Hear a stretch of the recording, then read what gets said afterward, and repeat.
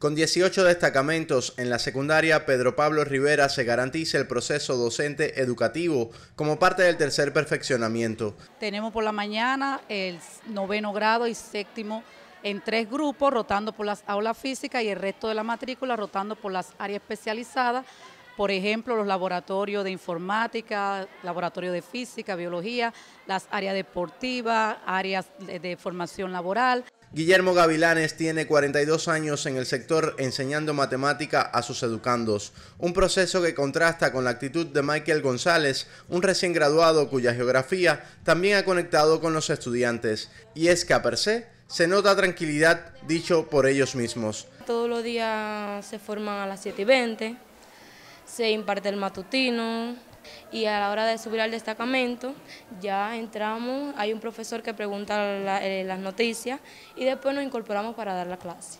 Yo siento que es una institución educativa muy buena.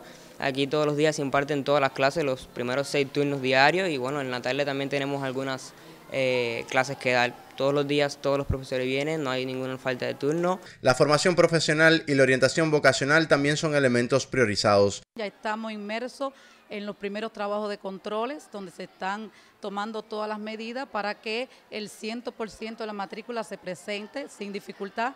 Eh, simultáneamente se están desarrollando los concursos provinciales, donde nuestro centro tiene una representación importante. En esta secundaria básica guantanamera, ubicada en una demografía cuyo contexto social abarca complejidades psicosociales y conductuales, se realiza un trabajo multisectorial con el apoyo de las familias. Los procesos docente educativos en Guantánamo revierten resultados en la retención escolar, los índices académicos, concursos y la promoción hacia otras enseñanzas. Desde Guantánamo, Ernesto Martínez y Miguel Reyes, Sistema Informativo de la Televisión Cubana.